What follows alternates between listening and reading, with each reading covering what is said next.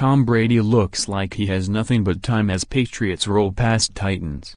Foxborough, Mass. In the center of it all, still the most important figure on the field, was a 40-year-old man who managed to look unhurried while everything accelerated around him. Defenders clutching at his feet, linemen seizing at his jersey, Tom Brady stood still, as if he had all the time in the world, as if he was personally holding back the minute hand of the clock and keeping it from ticking. He was deliberate, as is his habitual pace. There was no rushing him into anything, not into a play, and not into middle age. For the moment, this moment that is stretching on, and on, and on, it looked as if he could keep playing quarterback for the New England Patriots in perpetuity. Certainly the Tennessee Titans and their 24-year-old quarterback Marcus Mariota didn't do anything to rush him.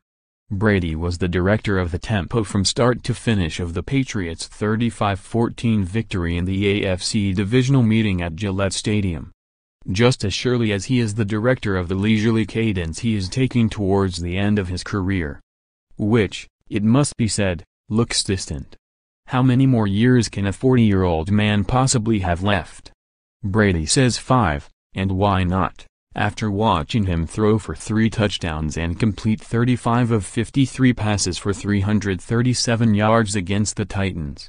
It's been said and written that some in the Patriots organization want Brady to retire sooner rather than later, that his determination to play on has put them in an awkward limbo, made it difficult to build for the future. But if Brady continues to play at this level, so precise and so poised that he makes excellence look monotonous, so efficient in his quick snap offense that the Titans defenders sent plumes of exhausted breath into the cold air, how is anyone going to get rid of him? And why would they want to? Scrutiny is heightened, but Brady has yet to buckle if ever Brady had an excuse to feel pressured or weary, if ever he might have shown a crack, now was the time. All week reports circulated that there was internal tension on the Patriots over his determination to play on. ESPN alleged that Brady had become an insecure diva who wanted a commitment, while coach Bill Belichick was said to be unhappy with Brady's body coach Alex Guerrero, and frustrated at having to trade their heir apparent at quarterback Jimmy Garoppolo. Though it was denied by both Brady and Belichick, who insisted they have a great relationship, something still seemed not quite right.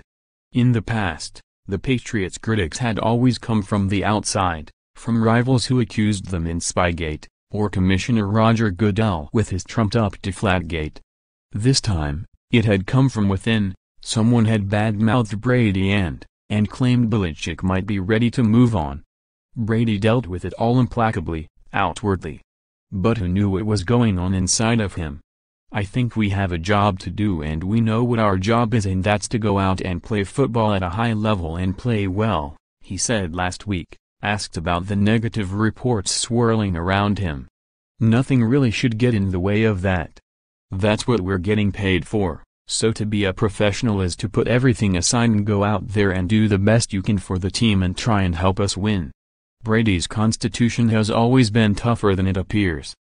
Built like a slim Jim, lank and unmuscled looking even in pads, he has nevertheless thrived in fundamentally inhospitable environments flourished in the New England winters, the temperature plummeting into the low 20s, the trees so bare and leafless they look like charcoal pencil sketches. He has reveled in the squalls flowing through open-ended Gillette Stadium, which admits every cold breath of wind.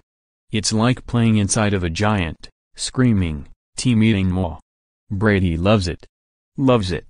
He trotted out in the wind chill of 13 degrees Saturday night bare-armed, Nick Foles outplays Matt Ryan and Eagles hold off Falcons anyone who wants to get past Brady in these playoffs, much less supplant him or force him into an easy chair, has to deal with the fact that he is simply an unprecedentedly tough player, physically and psychologically.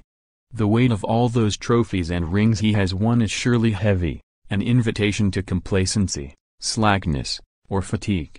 And yet, Brady is getting older, sure, and has a nagging Achilles problem, which may have accounted for how heavily the white tape was wrapped around his cleats. But he is still setting the league standard for execution at an age when other men are getting arthritis. Still hitting every receiver in the hands, still throwing deep balls that spin through the air like fishing lures, still running the quick snap offense as systematically as steam press. And still making it to AFC championship games, seven straight now. Maybe Brady and Belichick do squabble over the quarterback's timetable, and his obsession with holistic therapies and Eastern medicines. Maybe Brady is pushing his luck, and he will fall off some physical cliff that he can't anticipate. But at the moment his arm is limber and alive. Brady made it clear Saturday night that he is still is in charge of the time on the clock. Being on the field is a great place to, that's where you go prove it, he said. You can talk all day about what you're going to do, and what you want to do, but ultimately you got to go do it. When we get out there, that's the best part of the week. For more by Sally Jenkins, visit washingtonpost.com slash jenkins. Read more on the NFL, fancy stats calls Eagles upset, will Jaguars follow suit? Will Sunday's game mark Big Ben's final home game with Steelers? NFL to review whether Raiders violated Rooney Rule with Gruden hire scoring was down this season. Will NFL do